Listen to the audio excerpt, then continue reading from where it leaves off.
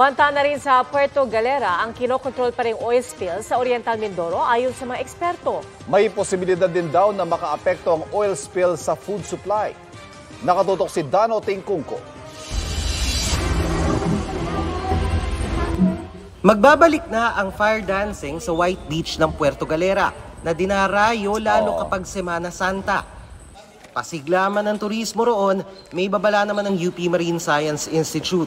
Sa kanilang pinakabagong projection, mula bukas hanggang Miyerkules, posible nilang lumihis at mapunta sa Calapan, Puerto Galera at ilang bahagi ng Batangas ang langis mula sa MT Princess Empress.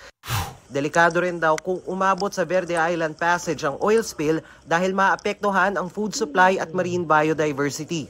Yung ating source ng food, yung mga isda na paborito ng ating mga kababayan, posibleng ah, hindi maging ganun ka-available in the next uh, few months. Ayon kay Puerto Galera Mayor Rocky Ilagan, ligtas pang maligo sa dagat doon dahil negatibo pa sa anumang langis ang tubig. May mga nakapreposition na raw silang oil spill boom kung kailanganin. Gayunman, nakaranas daw sila ng mga cancellation ng booking.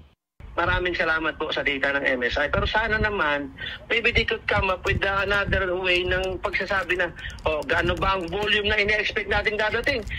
Kasi pag pinakita mo yung possible trajectory, natatakot na. Ang Calapan City magdaragdag ng mga improvised spill boom sa mga daanan ng ilog at dagat kung nasaan ang mga mangrove forest o bakawan.